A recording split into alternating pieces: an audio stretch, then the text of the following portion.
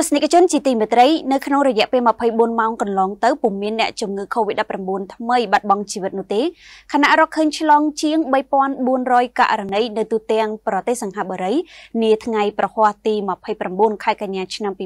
2022សូមបញ្ជាក់ថាក្នុងចំណោមករណីឆ្លងថ្មីខាងលើគឺភាគច្រើនសុទ្ធតែជាករណីឆ្លងក្នុងសហគមន៍ទាំងអស់ ប្រទេសសង្ហបុរីបានរាយការណ៍ពីករណីឆ្លងជំងឺ Covid-19 ថ្មីថ្មីចំនួន3431នាក់តែមិនមានករណីស្លាប់ថ្មីទៀតនោះទេក្នុងរយៈពេល24ម៉ោងចុងក្រោយនេះបើយោងតាមការចុះផ្សាយដោយទីភ្នាក់ងារសារព័ត៌មានចិនសិនហួរនៅថ្ងៃទី29ខែកញ្ញាឆ្នាំ